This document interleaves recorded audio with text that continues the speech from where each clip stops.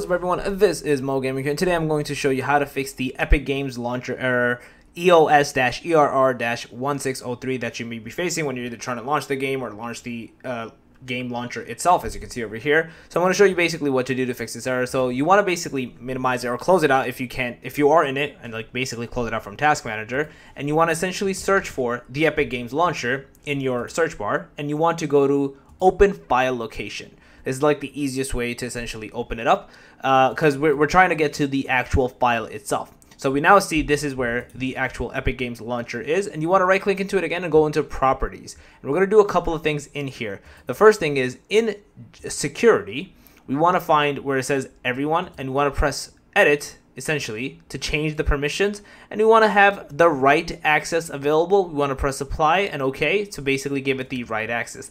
The next thing is incompatibility. We're going to do a couple of things.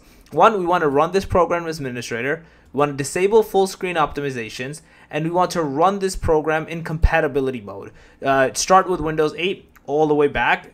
It almost always works with 8 or 7 so you don't probably have to go all the way back but basically go down this route this should essentially fix the error. Try turn on the game again, or the launcher, I should say, and you should not have this error persist any longer. So yeah, that's basically it. If you guys like the video, please smash that like, thumbs up. Guys, new jump, make sure to subscribe, don't forget, and that, we'll go out. Peace.